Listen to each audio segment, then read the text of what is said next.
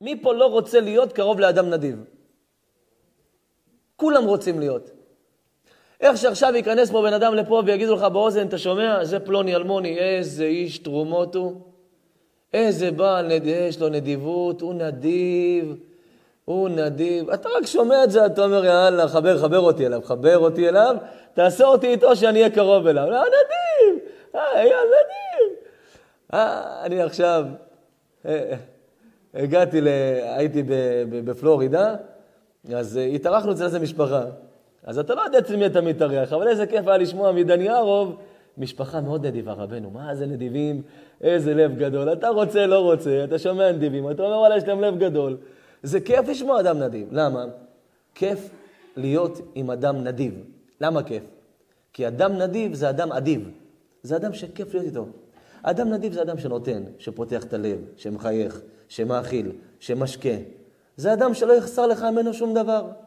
לכן נדיבות, אומר שלמה המלך, זה מעלה בעולם הזה ובעולם הבא, כמו שנאמר, מתן אדם ירחיב לו, ולפני גדולים ינחנו. מתן אדם ירחיב לו. אדם שהוא נדיב, מרחיבים לו. לא רק מרחיבים לו, אלא גם מרחיבים לו את הדרך. נכנס אדם קמצן, אף אחד לא רוצה לשבת לידו. אף אחד לא רוצה להיות חבר שלו. למה זה אתה מגיע איתו לבית קפה, שמגיע חשבון המחיוב, הארנק בבית. אומר לך, אחי, נשבע לך, הייתי משלם, אני, אני, אני יכול לשלם פה באשראי? אה, שבע שקל, איזה אשראי. מה, שתית חצי קפה מהקמצנות. לא, אתה לא כיף לך עם אחד כזה. אתה נכנס לבית של אנשים, כל מה שהוא שם לך בשולחן, הוא סופר כמה אכלת. אתה אומר לעצמך, לא שאני רק מפסיק לאכול, אני גם מפסיק להגיע. אבל יש אנשים, אתה נכנס אליהם הביתה, הוא מגיש לך, ומגיש לך, ואומר לך, זה לא מספיק מה שהבאתי לך, הלוואי יכולתי לתת לך יותר. ומה אתה אומר, מה יותר? אין מקום בשולחן. כיף לך אצל אדם כזה. לכן אומר שלמה המלך, מתן אדם ירחיב לו. מה זה מתן אדם ירחיב לו? אדם שאוהב לתת, יש לו נתינה, אז קודם כל מרחיבים לו. בוא, שב. לא רק פה, איפה שאין מקום תושיב אותו, אה, שיעמוד. לא, זה אני מוכן, בוא תשב במקומי. למה? אה, נדיב. אדם נדיב, מרחיבים לו את המקום. אה, יודעים עכשיו בא איזה אדם מיוחד. כן, לצורך העניין, היה פה אה, לפני עשרות שנים, היה צדיק בארץ, קראו אותו החזון איש. חזון איש היה קודש קודשים. והוא יום אחד נכנס אליו אחד האנשים הנדיבים ביותר. לפני שנכנס אליו, שאל אותו השמה שלו, אמר לו רבנו, איך מתייחסים לאדם נדיב? כמו לכל אדם, או קצת בשונה? אמר לו, תשמע, יש פסוק במשלי, מתן אדם ירחיב לו, ולפני גדולים ינחנו. מה הכוונה אמר? ככה הסביר החזון איש.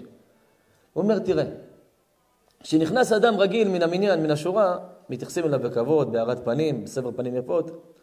אבל כשנכנס לפה בן אדם שהוא כל כך נדיב, שיש לו כזה לב גדול ורחב, שכל מי שרק זקוק לעזרה הוא עוזר לו. הוא אומר, מה כתוב? מתן אדם ירחיב לו. מה ההמשך? ולפני גדולים ינחנו.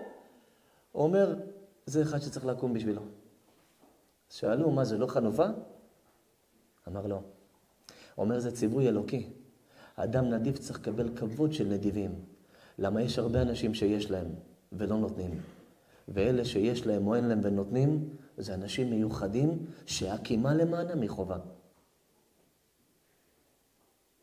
לפעמים אתה רואה בן אדם, לפעמים שואלים שאלה, למה, למה הוא מקבל כזה כבוד? כי הוא יודע לכבד. למה הוא מקבל כזה כזה יחס? כי הוא נותן לכולם את מה שאין להם.